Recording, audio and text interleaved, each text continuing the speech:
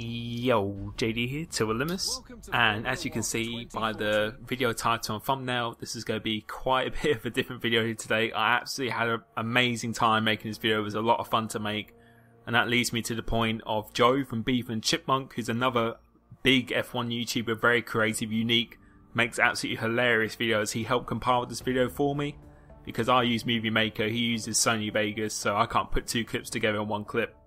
So I sent him my footage and he compiled it for me. He took the time out of his day to do it.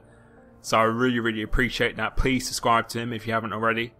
Uh, but moving back to the video itself, um, this video is just, I'm just hoping it can be informative, useful, uh, people can take something away from it. I had quite a big demand for it. Uh, so I thought I'd show you guys. And before starting the video, I'll be showing you my controls I use. Uh, I use the preset one, which is the completely default setting. I don't use any, I don't change anything. I don't change any of the button layout or make it customizable for me. I always have it on this setting. I've had it on this setting for every F1 game I played actually. So there's your answer to that question there. I'll be doing a free lap race today around China. Uh, the reason why I chose China because it's a pretty big track on using a hand, and as you can see, we have a pad cam in the top left corner. And I've never done a video like this, and I'm just hoping it it satisfies you guys, the guys who wanted to see it. Uh, thumbs up if you enjoyed the video so I can make more of these, and away we go. Uh, right now, so as you can see, trying to be very smooth control, I use my right hand to change the fuel mixture. So whenever I am deciding to change fuel into lean, rich, you'll be seeing this throughout the video. I always use my right hand because I like to keep my left thumb on the control at all times just to keep complete control. And as you can see there I'm changing it again. A for gear up as you saw in the settings and X for gear down. And um, all I can say really is that you can look at the, the cam in the top left as I'm going through the corners. You can see especially through this corner here as I'm changing as I'm steering so I lean the controller towards me use my right thumb to change it. I like resting my thumb there, as you may notice. I just like resting it there before I change gear again.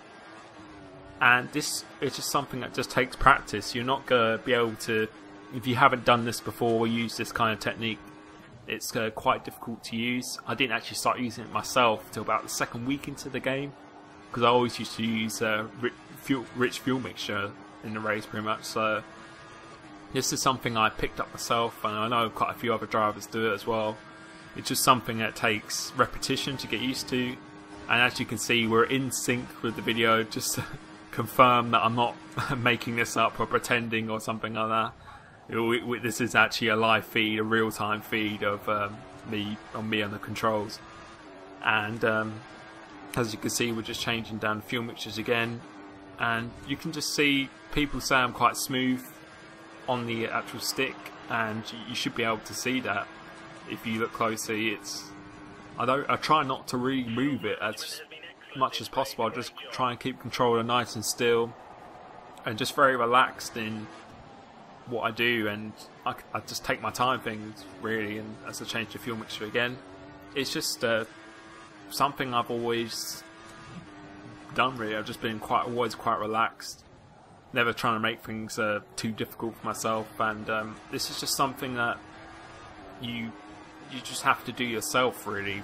it's because I don't look at the controls. I look at my hands. This is just something that you just program into yourself. And through doing many laps and playing really good players, I think the number one thing in improving yourself is just to play better players than you and that's how I improved by playing the likes of XMATG and Noble when I first got into league racing. They were a lot quicker than me at the time, and through just gen- uh, gradually getting closer and closer to their times, and eventually actually starting to beat them, you just gain that confidence. And I think that's what it is at the end of the day. It's just down to just your uh, self confidence and just time, patience, and just experience on the game, really, which is all it's down to. And as you can see, going down the gears again.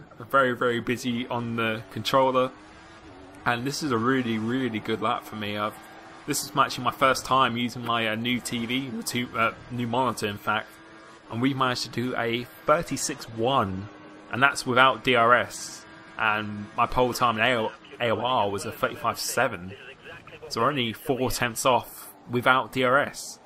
Uh, and arguably more, more, fuel as well. So that's um, I'm feeling really, really comfortable with this uh, monitor at the moment. It just seems to react a lot quicker to what I do. The response time is, um, or is, is a lot lower, and it just there's no, there's not really that much input lag. Whatever I do on the controller, as you can see through the cam, uh, it's reacting to the actual uh, gameplay itself. So that's really, really good news. I can't wait till I actually start league racing properly with it. It should be really good. I don't think I'll really go any faster, but I think I'll definitely be a lot more consistent. But for this video, just my general tips is that hopefully by you looking at how I hold a controller, how I position my hands, my fingers, um, where I change gear, uh, how I change the fuel mixture, which I think is quite important. It's quite difficult to see how I'm braking and triggers, but you can see that I'm quite smooth on the brake and on the throttle as well. I don't just yank it down, and also for the steering, I'm generally quite smooth. As again, we're just making sure that we're perfectly in sync with the video, which we are. And um, hopefully, this is something that you can take away from. Uh, if you do like it, just make sure to give it a thumbs up. So I could potentially make it into a series. I could maybe do it for each track. But as always, thank you for watching. Hopefully, it's been useful to you. And cheers for watching. See you there.